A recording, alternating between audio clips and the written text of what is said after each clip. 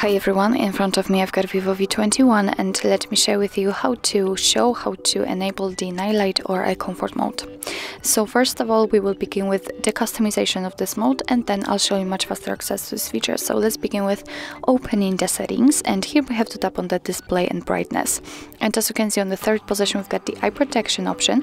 Of course we can turn it on without any customization just by tapping on the switcher and as you can see the screen turns a little bit yellowish or amber and it is of of course in order to filter the blue light but we can um, we can customize this mode so in order to do that just tap on this eye protection and as you can see here we've got the options uh, which we can personalize so First of all, let's change the intensity of that feature just by using this swipe, uh, the switcher actually. By going to the left, you can make it much, much cooler.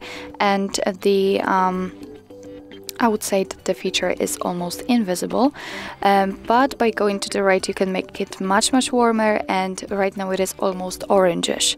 Uh, what's more you can schedule that feature, you can set it from sunset to sunrise and then your device will automatically decide when the sunset and sunrise is or you can turn it on at custom time so after picking it you will be able to manually pick the start and the end time. So let me pick the start time at for example 3 o'clock and as you can see and the screen turned uh, yellowish immediately it is of course because we are between the start and the end time so let me turn it off actually and turn it on manually.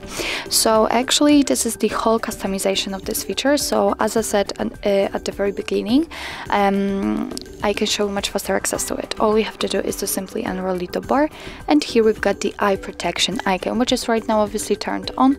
If you'd like to turn it off, simply tap on it and as you can see the screen turns back to its normal state.